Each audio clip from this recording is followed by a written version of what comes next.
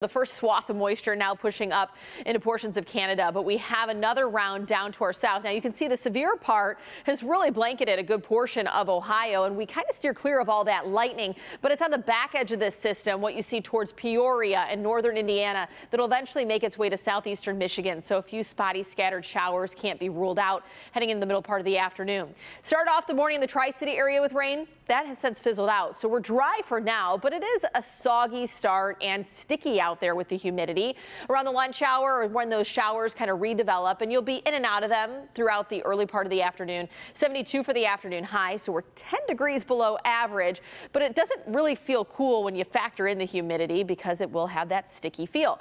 Clouds and radar forecast for today. Overcast skies throughout the morning, and then you see how we have a couple of those little spotty showers noon till about 2 or 3. By 5, though, we start to peel back that cloud cover, and we should have a pretty dry night ahead. A few more clouds will mix in. Heading into your Tuesday, though, now new data indicating that we could get a splash of rain by about 6 o'clock down to our south. I'm not putting all my eggs in this basket because this is really the first data run that we're seeing of bringing in some of that moisture for late Tuesday, but nonetheless, I want to be transparent with you and make sure that you are prepared in case we do get a passing shower.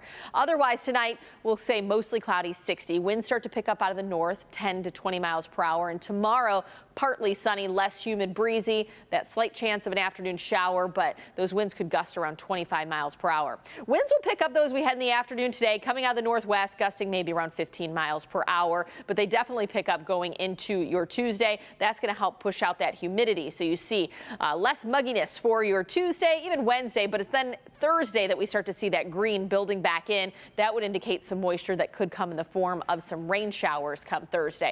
So your future forecast, coolest days today, but we will be warming back up into the 80s throughout the rest of the work week. Wednesday, really the pick day, mid 80s with sunshine. So there's your pool day for you. And then as of right now, looking at the upcoming weekend, mix of sun and clouds and seasonal highs in the low 80s.